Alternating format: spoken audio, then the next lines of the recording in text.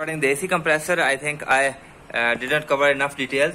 Uh, it, AC compressors has two controls. Okay, the one is uh, input is coming from the ECU. Okay, the wiring which uh, in wiring harness. The other can be from the when you press the button, air condition button inside. Okay, so when you press the button, then again it is uh, the ECU which uh, says says okay or not. Okay, so sometimes because ECU thinks it's not safe for the engine to put a load on AC compressor, the engine having some problem or you are running it hard, for example in full throttle, then what if AC uh, button is either pressed, then again the ECU will trigger this off, okay, because the engine load is high. So look at that, this is you, your button which you will push inside car and this is going into this red wire, okay,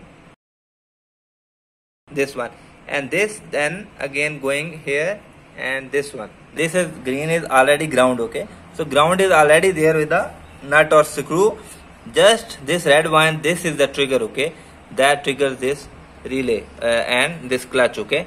So this is coming either from your ECU or your uh, inside button you push with AC compressor button okay? Aircon button.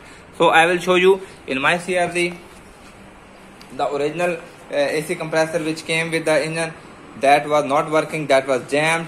So we arranged another one from junkyard but that was just a simple type. That did not have that ECU control sophisticated ECU control okay? So that is triggered by just one wire. Let me show you. Going under the car. So this is my AC compressor okay? The old thing but it works okay? So this is triggered by this one grip okay? Okay. This is grip one is ground okay? Already with this screw. I already told you the other is trigger okay? So this we joint jointed with the crz wire which is the inside air con button. That wire comes with a lower coolant temperature sensor okay? Here it is lower coolant temperature. Here. So here is that coolant temperature sensor and that's the hint that this wire is coming along with that grip so we just join that wire to this okay? So this has just one trigger point okay? So to run AC compressor you just need one trigger wire. And if you can use the ECU sophisticated control so uh, the ECU uh, shuts off the AC compressor to decrease the load over the engine. But if you can do it manually then there is no need for that okay? So just when you are running the car hard okay racing just turn off the AC compressor that will do the same okay? Last video uh, there was slight confusion about the uh, uh, starter relay bypass the Hasport method. That is very simple. Look at this. I am holding the crz uh, 124 grip over. Look at that. This is position one wire one written over here. And look at that plastic. This is on my left side okay? Now i turn it over and this is number one wire and this is upper row second wire this blue one okay? So this we will uh, you will extract this wire from here and then from ECU white uh, plug okay uh, number 12 wire okay? This is 9 10 11 12 so you will extract the 12 wire and join these together okay? So that will bypass your clutch pedal position switch when you press the clutch pedal and, uh, and the car starts then CRZ okay? Because in Hasport I think the diagram is wrong okay? The plastic is on this side. In Hasport the plastic was on this side and one number wire is also on this side okay? I will tell you what the mistake in that diagram because a lot of people get confused okay? So i think he drew the diagram wrong. So this is the plastic and opposite is this uh, the one number wire okay? And then this is the wire. If you see it like that then this is the green wire uh, the this blue wire. So this is if the plastic is facing this one this is the down row second wire okay? The bluish one okay? So if the plastic is uh, if you turn it upward and now it will be up row okay? Up row second. So that i was telling about in previous video because if you turn it this way the this will go into the second row that below blue wire and if you turn it like this then it will be come in first row okay? The upper blue wire so that's uh, a tricky point okay? Come to the 10th part. Today we will be going over to the some of the important sensor wiring because all the time uh, some people are using K24 some people are using K20 and uh, I have both K20 here and K24 here and I have CRZ here and Honda Fit here. So we have all the combination. So I'll be covering over to sensor real quick. because on budget K24 is more economical. So if you are using a K24 and using a K20 wiring and ECU, then some sensors wiring need to be done mild, mild changes okay some grips are not compatible we will be uh, swapping over the wires and etc etc so let's start the video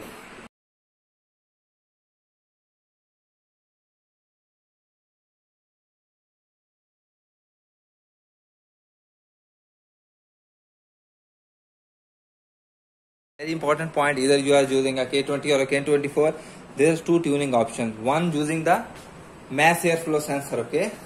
This sensor. This is mass airflow sensor which uh, goes into your intake. This is the I have uh, not uh, uh my OEM plastic intake but this was aftermarket one but the sensor is same okay? This was a sensor of my uh, CRZ on Honda Fit okay? And this will be compatible with your K series ECU and wiring. Just you need to make some changes I will tell you so the point I was telling is the tuning with the mass airflow sensor, the car is more smooth, but power wise, uh, and if you are turbo, then uh, people prefer the map sensor, manifold absolute pressure sensor. Okay, this is often on your located on your manifold. Okay, so this is the map sensor, and sometime that sometime when you get the engine, for example usually they cut the uh, air box okay? So here was the that plastic air box in which the mass sensor was. MAAS mass sensor okay? So now that is cut here. That's why I am emphasizing that sometime you have to use your CRZ one or the fit one okay? So let us plug it with the K series okay? This is K20 or K24 series uh, grip the map sensor 5, sen uh, 5 pin grip.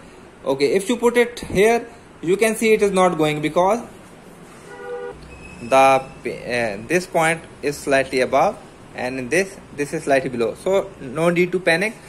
What we have to do is you just take this grip from your CRZ or the fit wiring okay? And then with your uh, pointed tool these are the points just this will come out easy okay?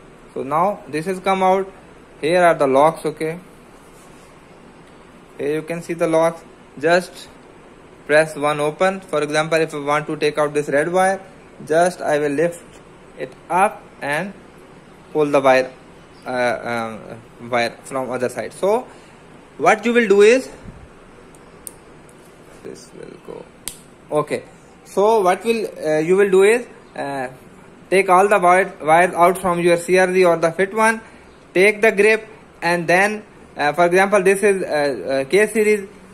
Again take out all the wire and insert them into CRZ or fit grip. So no need to cut the wires okay? Just you can uh, take out the wires and put them back okay in your CRZ grip. And that will be bolt on over to your CRZ or fit sensor. And that is this sensor is compatible with your K series ECU so this is one thing. And if your engine have K series engine came with this map sensor then you will not need to change anything okay? That will be again bolt on. But sometime they send the engine in which the air box is not there. So map sensor will not be there okay? So and please uh, take a picture uh, of the K series wiring pattern because because you uh, will follow the same pattern okay? When inserting. That is a common thing understood thing okay? So next next there is another point. If you if you don't want to tune it with a map sensor then you will have to add a separate air intake temperature sensor okay? Because this sensor has an integrated air uh, air temperature sensor too. So when you are not using this the ECU sends the error code that the uh, air intake temperature sensor is not present. So this is most common Honda sensor almost found on uh, previous generation uh, previous to the 8th generation okay? Because which Honda use this map sensor? They don't use this sensor okay? You can find these in junkyards easily. What you will need to do is you will either tap into these two wires okay if you want to keep them both okay? Sometime you uh, want that now i am using map sensor later on sometime i will turbo and then use the map sensor. So then you can keep both and just tap into these two wires okay? The one is red red uh, yellow and other is uh, green black okay? These two wires okay? So just tap into these wire and this will be done. Or if you want to delete it for example like i did then just you will do is extract these two pins here and insert them into your map sensor grip uh, this grip okay? Because the inside pins are same. So instead you uh, cut uh, instead of you cutting your uh, wires if you uh, don't want to use this uh, map sensor then you can just take out these two wires okay and insert them into the grip of the this sensor okay? No cutting needed okay? And you can just uh, tape the rest of the three wires extract them out save them because maybe you later on plan to use this again okay? So that's cover our uh, IAT sensor the map sensor okay? Again uh, and you know another important point I wanted to tell you of the color coding because some this is this wire will card red black okay? Because red color is more dominant. This will be called black blue okay? Black is more dominant. Similarly this will be called green black. So this is the pattern sometime. Uh, i will be repeating a lot okay? This is dominant is red one so this will be called red yellow okay? Not the yellow red okay? This will be called red yellow. This will be called red black not the black red okay? Another uh, trick is and that this plastic is usually thick one so the sensor is slow. So what we need to do is slightly shave off there to uh, expose this glass filament okay? Then the sensor is super fast okay? But don't overdo it otherwise you will destroy the sensor okay? So just slowly with the cutter blade and cut this plastic and make this glassy filament exposed okay? So that's cover our IAT map sensor okay? And of course when you will add a separate intake temperature sensor. You will have to uh, make something to uh, fit it over okay? Make a small hole and just uh, uh insert it there okay? But if you are turbo then there will be a, a, positive pressure inside then that will pop out. So if you are turbo then apply some epoxy or something like that or a zip tie so that this will be kept plugged in okay? So that covers okay i broke it too. Oh, oh no problem. I'll buy another one bus so that's uh, the the IAT sensor the separate IAT sensor. Okay on front is the knock sensor. This one is I swapped over to K21 although the engine is K20 so these are compatible. If you uh, this is the K24 one okay? This uses a different type of grip okay? This is the grip okay? But this grip is same of the CRZ or Honda Fit. So if you want to use the K24 type map sensor uh, or for example if your engine is K24 that will already have this sensor okay? But the wiring you ordered of the K20 the K20 wiring and will look like this okay? So what you will uh, need to do is you just take this from your CRZ or the fit wiring cut the grip and just attach that grip to this okay? So that will be that will solve your knock sensor problem. But if you want to use the K21 then you will have to buy the sensor okay? Uh, the K20 sensor. So both work. That covers our uh, sensor